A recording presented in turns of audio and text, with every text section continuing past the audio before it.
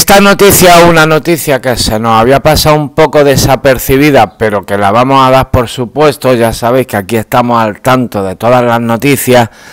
Y es que el otro día, bueno, Rocío Carrasco fue acusada de ser la responsable directamente, también la fábrica de la tele por supuesto, de ser los máximos responsables del cierre de Sálvame, que todavía está en el aire, os he colgado una exclusiva en el anterior vídeo a este, donde, bueno, de momento Sálvame no tiene fin.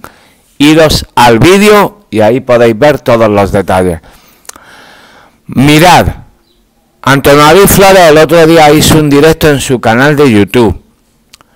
Y entre otras cosas, como os pongo aquí en pantalla y ha publicado la prensa, bueno, pues acusó directamente a la fábrica de la tele y al documental de Rocío Carrasco, que por eso pone el titular lo que pone, de ser los causantes máximos de la pérdida de audiencia. Y eso es algo que estaremos todos de acuerdo. ¿Quién lo puede negar?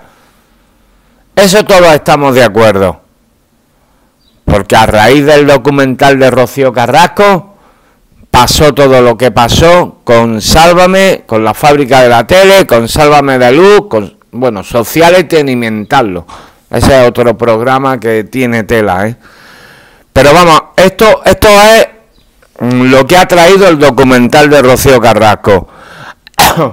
ahora, perdón, ahora están con movimientos legales que tienen que hacer, que por eso os digo, iros al anterior vídeo a este y vais a ver todos los detalles que hemos colgado una exclusiva que va a salir por la prensa. De hecho, en breve una periodista amiga mía ya me lo ha confirmado. Iros al vídeo anterior a este que vais a ver todos los detalles.